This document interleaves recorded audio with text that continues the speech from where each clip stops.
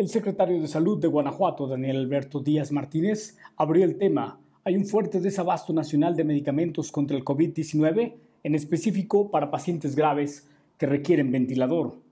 En la entrevista diaria con TV4 Noticias de la mañana, el funcionario llamó a la federación a facilitar el suministro. Afirmó que el resto de las entidades enfrenta un problema similar y aclaró que en el caso de Guanajuato no se ha escatimado recursos y hay presupuesto suficiente para comprarlos. Se está experimentando ahorita una falta de algunos medicamentos muy importantes para el manejo ventilatorio de pacientes graves, los que están en terapia intensiva.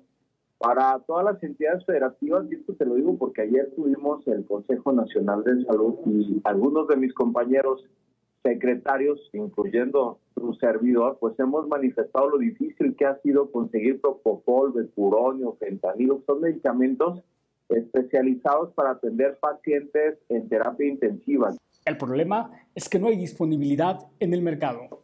E igual para los pacientes que están sometiéndose a cirugía. Esto es porque estamos a final del año porque también es difícil que haya proveedores. En Guanajuato no es porque tengamos una falta de recursos económicos como el gobernador. En la red de hospitales de Guanajuato hasta el día de hoy hay 872 pacientes internados por enfermedades respiratorias agudas. El secretario lanzó un llamado a mantener el uso de mascarilla de protección, la sana distancia y el uso de alcohol en gel. Ante el incremento de casos, advirtió que la transmisión es muy intensa del virus y por ello hay que quedarse en casa. TV4 Noticias, Edmundo Mesa.